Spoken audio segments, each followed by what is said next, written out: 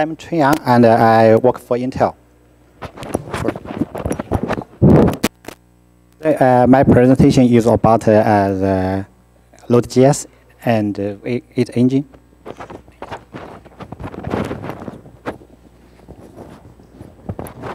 On, uh, on uh, Intel architecture, and uh, I will cover two sub-topics. the first one is um, JavaScript and JIT x86 machine code mapping, profiling support.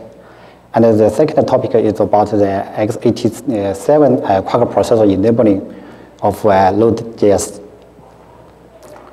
Okay, I will next page.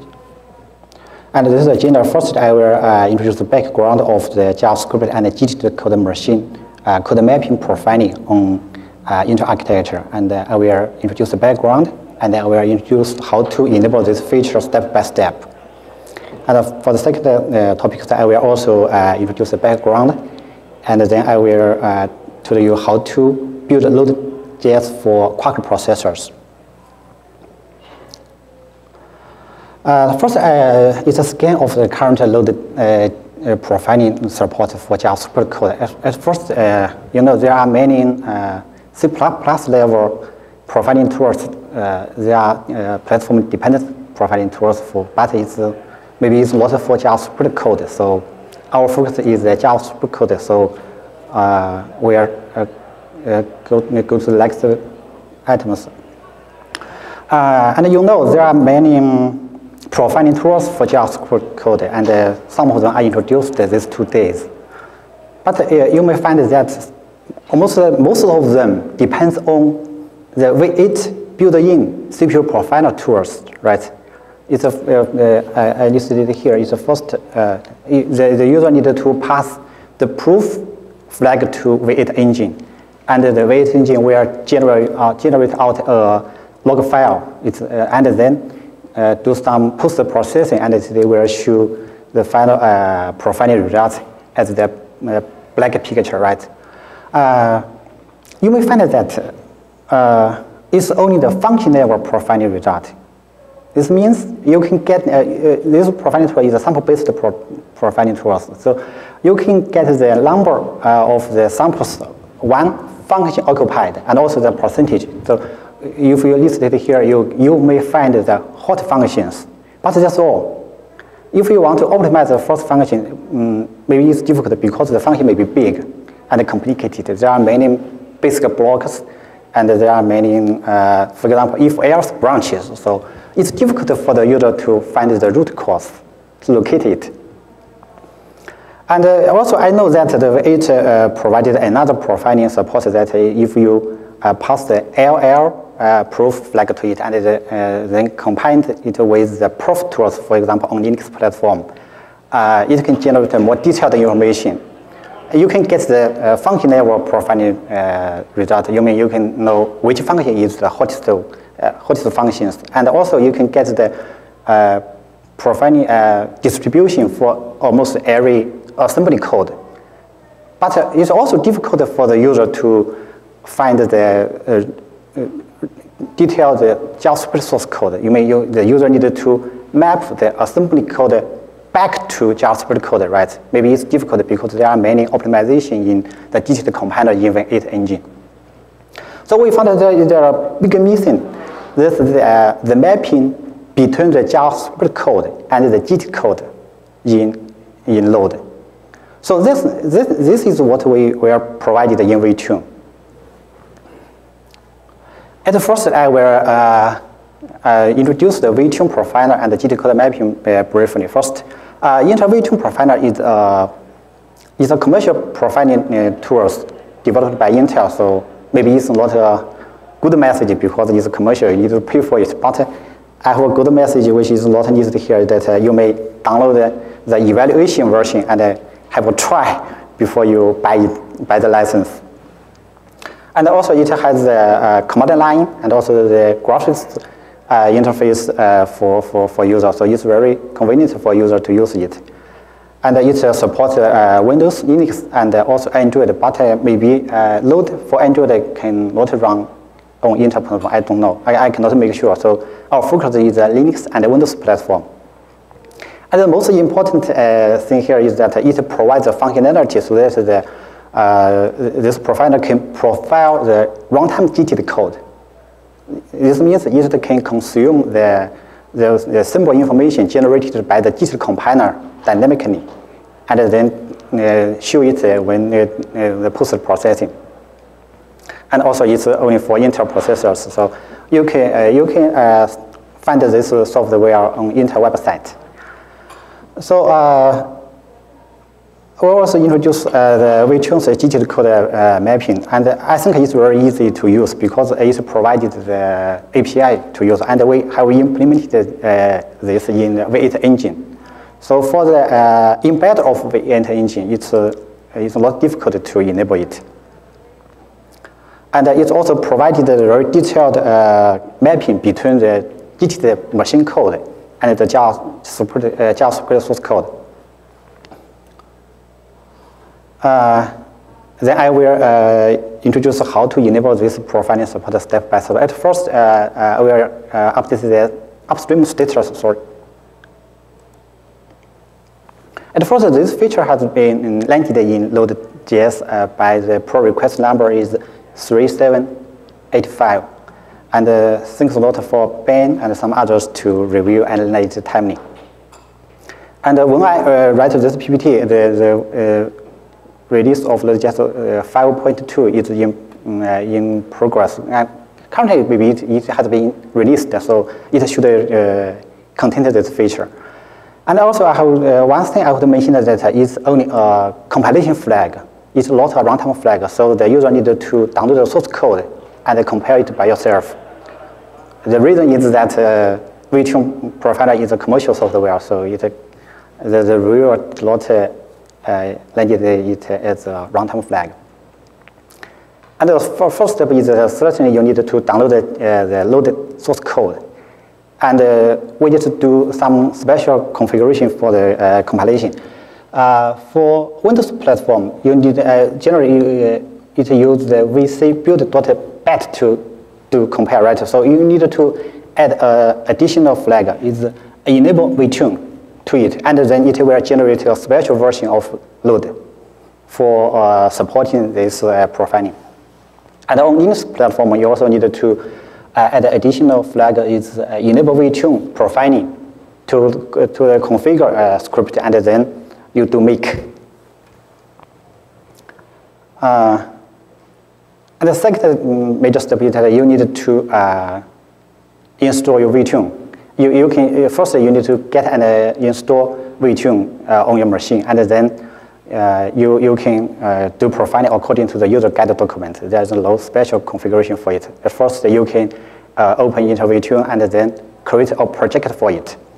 And then you can, uh, you need to configure the VTune. I, one thing I would uh, mention here is that uh, you, you cannot start Node first and then start VTune to attach the process to do profiling. It does not work. You need to start VTune first and use VTune to start Node. Yeah. So you need to configure the, the target uh, the target type as the launch launch application right here.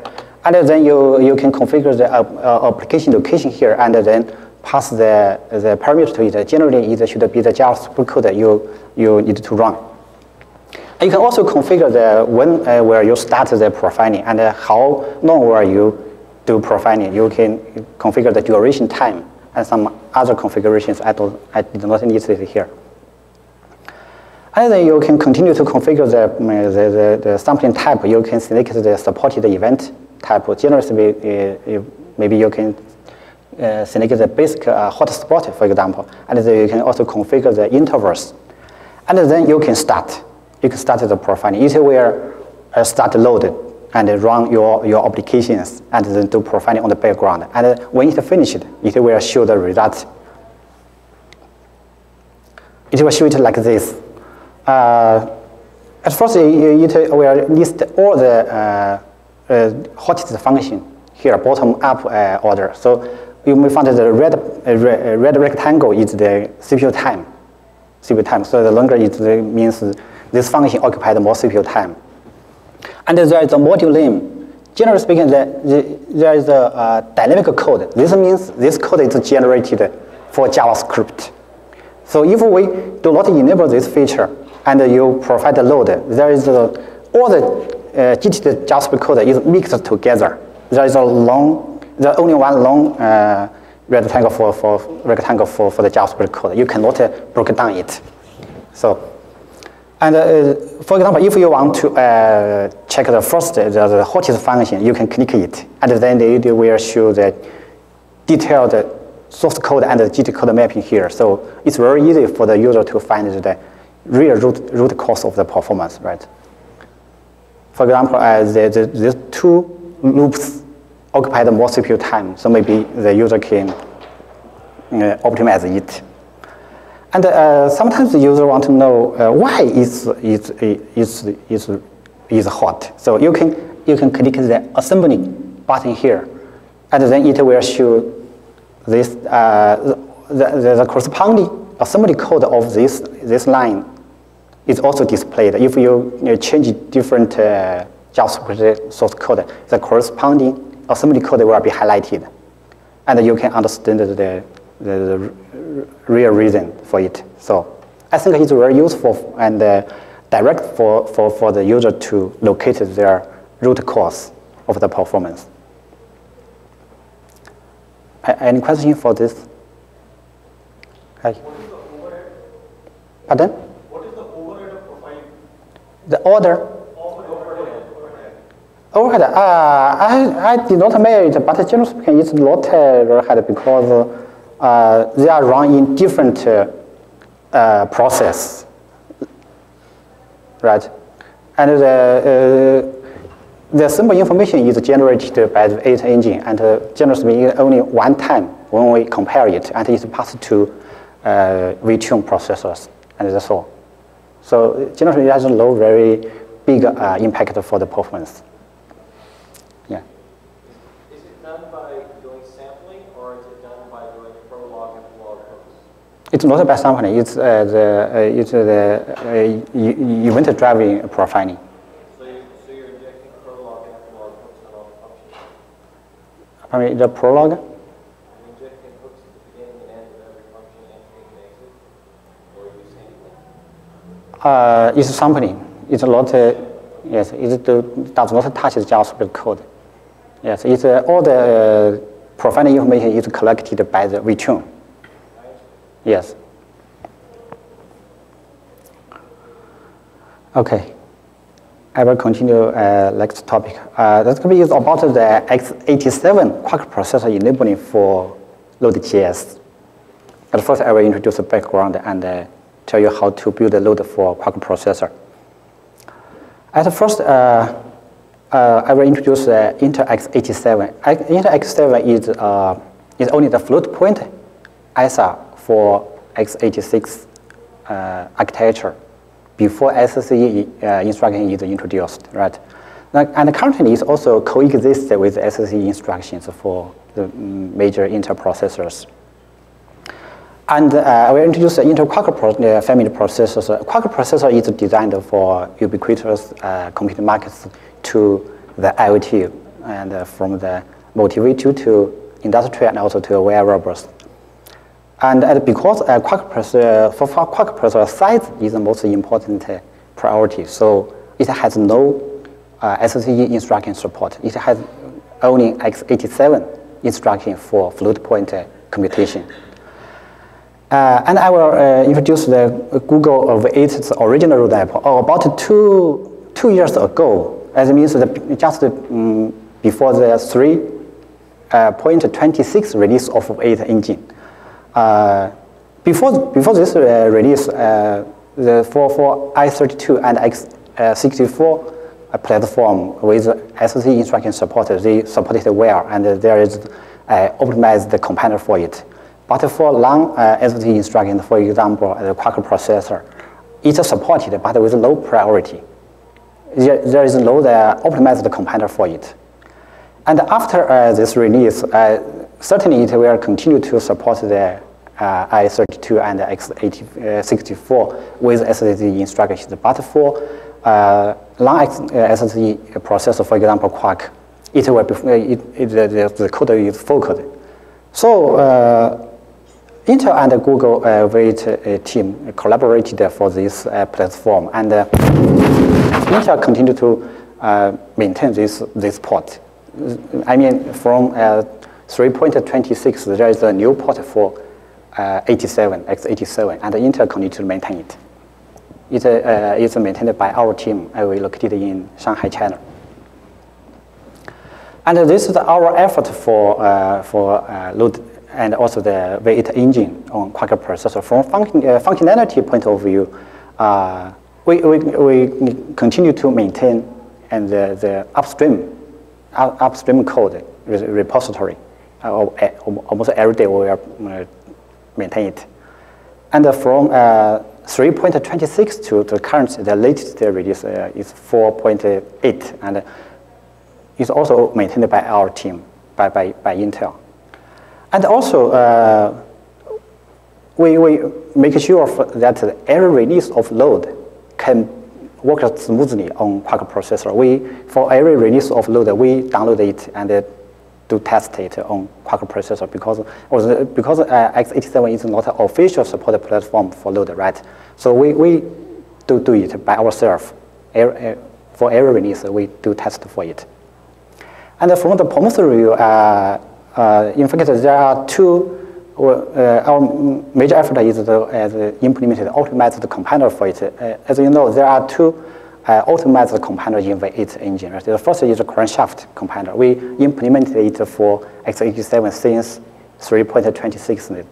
Uh, the, the, the optimized compiler for different platforms have, uh, has the same front end, but they have the different back end, right? So we implemented the back end for x87. And when uh, the turbofan compiler is uh, introduced in uh, about uh, 4.5 release, we also implemented it for x87 port and continue to maintain it. Uh, okay, the last page is what, how to enable it for Quark processor. If you want to run Node on Quark processor, you need to do it, do it uh, manually because it's not, I, I have just said it's not official supported platform.